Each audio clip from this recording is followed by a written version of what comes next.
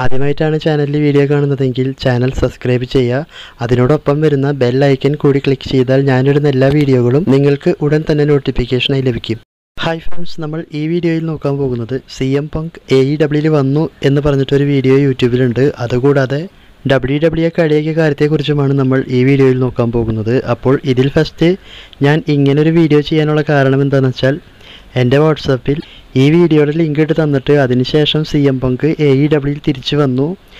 അതിനെക്കുറിച്ച് എന്തുകൊണ്ട് വീഡിയോ ചെയ്തില്ല എന്നൊക്കെ ചോദിച്ചതുകൊണ്ടാണ് ഞാൻ ഇങ്ങനൊരു വീഡിയോ ചെയ്തത്. അതിനുശേഷം ഞാൻ ആ ലിങ്ക് ഓപ്പൺ ചെയ്ത് നോക്കിയപ്പോൾ ക്രിസ് ജെറിക്കോ കെനിയോ മേഘനെ വിൻ ചെയ്തതിന് ശേഷം സംസാരിക്കുന്നുണ്ട്. അത് കഴിഞ്ഞ് കുറേ വർഷങ്ങൾക്ക് മുൻപ് നടന്ന ഒരു റോ എപ്പിസോഡിന്റെ ലൈവ് ഇവന്റിൽ സി എം പങ്ക് വന്നതിന്റെ ഒരു എൻട്രൻസ് വീഡിയോ എടുത്തിട്ട് കട്ട് ചെയ്ത് വെച്ചിരിക്കുകയാണ് പക്ഷേ ഈ കാര്യങ്ങളൊക്കെ ഒരുപാട് പേർക്ക് അറിയാം എന്നാലും കുറച്ച് പേർക്കൊക്കെ ചെറിയ ഡൗട്ട് ഉണ്ടാവും.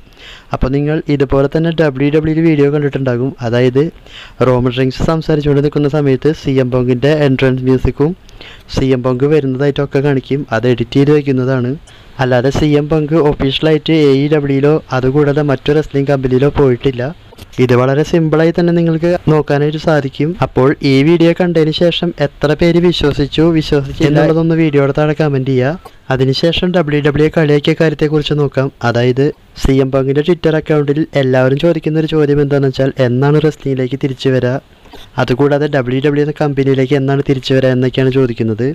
അതുപോലെ തന്നെ ഒരു ഫാൻ ചോദിച്ചതാണ് ഡബ്ല്യു ഡബ്ല്യുടെ വ്യൂവർഷിപ്പും ഡബ്ല്യു ഡബ്ല്യു വളരെ മോശമായിട്ടും വരുന്നു. ഇതിനെക്കുറിച്ച് എന്താണ് പറയാനുള്ളത് എന്ന രീതിയിലൊക്കെ ചോദിച്ചപ്പോൾ സി എം പോം കിട്ട മറുപടി എന്താണെന്ന് വെച്ചാൽ നിങ്ങൾക്കൊരു ഷോ ഇഷ്ടപ്പെടുന്നില്ലെങ്കിൽ പിന്നീട് അത് കാണാനായിട്ട് ശ്രമിക്കരുത് അതിനെക്കുറിച്ച് സംസാരിക്കരുത്.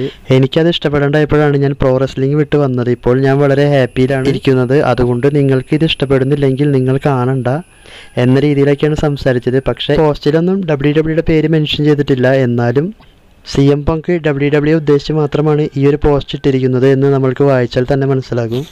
പിന്നെ ഒരുപാട് പേര് എന്നോട് ചോദിക്കുന്ന ചോദ്യമാണ് സി എം പങ്ക് ഇനി എന്നാണ് പ്രോ റെസ്ലിംഗിൽ വരാ എന്ന് പറഞ്ഞിട്ട്?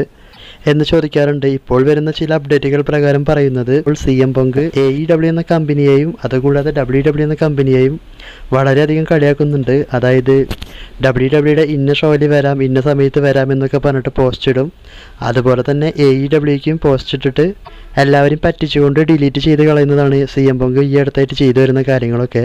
അപ്പോൾ ഇതിനെക്കുറിച്ച് കോടി റോഡ്സിന്റെ അടുത്ത് ചോദിച്ചപ്പോൾ അതായത് സി എം പൊങ്കിനെ എ ഇ ഡബ്ല്യൂയിൽ കൊണ്ടുവരുമെന്ന് ചോദിച്ചപ്പോൾ കോടി റോഡ്സ് പറഞ്ഞത് ഞങ്ങൾ ആ ഒരു റെസ്ലറുടെ പിന്നാലെ മാത്രമായിട്ട് നടക്കും അദ്ദേഹത്തിന് വരണമെങ്കിൽ ഇവിടേക്ക് വരാം.